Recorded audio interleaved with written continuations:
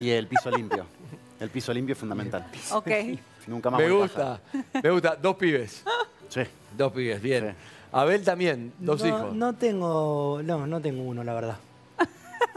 No tengo uno, la verdad. Yo soy un privilegiado porque eh, Agustín, que es, eh, yo tengo dos hijos, Guillermina de 14 y Agustín. Y Agustín, eh, digo, por ejemplo, duerme entre 8 y 11 horas de- desde que nació. Ah, bueno, no, pará, pará. Todos los días se duerme a Pará, la- me estás Claro. jodiendo. casi a la misma hora y durante el día duerme siesta, tiene un humor... Pero ¿cuál es la no, clave? pará, hay una pará. clave, pero hay una Pará. clave. Hay una Hay que, irse a, clave. hay que irse a vivir al le Chaco. transmite eso. Hay que irse a vivir a Claro. Resistencia. Le Por transmite eso eso. realmente no, o sea, yo, eh, lo ¿Le entiendo vivís porque lo, cantando lo he... o ¿Cómo? ¿Le vivís cantando? No, para nada. De hecho, no, no canto. En Nada. casa canto, sí, pero no, tipo, no me siento con él, ni, ni lo estimulo con la guitarra, ni nada. Lo que nos pasa es que a lo mejor tres o cuatro veces a la noche nos despertamos porque se sienta en la cuna, tipo, está durmiendo súper bien, se sienta y se queda ahí sentado y luego vos lo acomodás y se vuelve a dormir. Sigue durmiendo. Pero son... No, nada, es dormir segundos. entrecortado nada más, no pasa nada. No lo cuente, no lo No, cuente. soy un privilegiado, eso. Sí, un lujo, ¿Qué le voy a decir? Bien, este, bien, ¿qué- bien, bien. Te voy a decir que está buenísimo.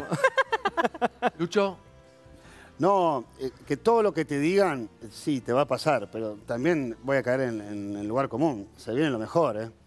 Se ve lo mejor, te vas a encontrar en un lugar que, que- que es el más grande de todos, que es ser madre. Es verdad, es suena bastante demagogo lo que estoy diciendo, pero es cierto. No vas a dormir, No, te todo vas a querer agarrar a piña con Fabián cada dos minutos, el piso sucio, como dice el gordo, otra vez, eh, sí, todo eso te la fumás. Pero después, ¿quién te quita ser padre o madre? Es un afano. Yo pienso así. bien. Sí. bien. Bueno, hasta ahora, tres hombres dándote consejos. Yo parí, así que es otro cantar, yo lo veo de, otra- de otro lugar. Eh, fue lo mejor que me pasó en la vida y también fue eh, sacarme a mí de primer plano e ir a la última hoja del libro. O sea, yo era siempre última. Lo único que te puedo decir es paciencia y si querés llorar, llorá. Muy bien. Y hay boliche. Ah, Los Anda. jueves, te venís con Fayán. Me voy.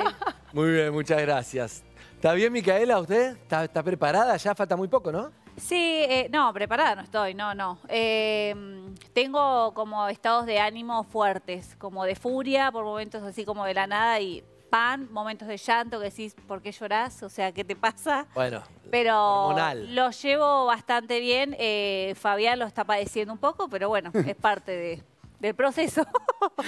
sí, sí, está bien. Se la ve muy buen humor, igual, muy bien, Muy. bien, bien. Venía a casa. Gran respuesta, gran respuesta. Me quedé pensando, le- duerme hoy, no, 11 tremendo. horas, 11 Sí, horas. sí, es tremendo. Sí. Pero, pero bueno, 11 ahora, ahora, después de un año y medio de ir contando y que todo aquel al que le cuento me dice, no, bueno, pero es una bendición, ahora me doy cuenta y, Vas ah, entendiendo que lo- sí. y voy diciendo, ahora ando por Sí. todo el mundo diciendo que somos unos bendecidos en ese sentido. Y en muchos más. de ya. Igual el sueño entrecortado también es, es, una- es un desgaste.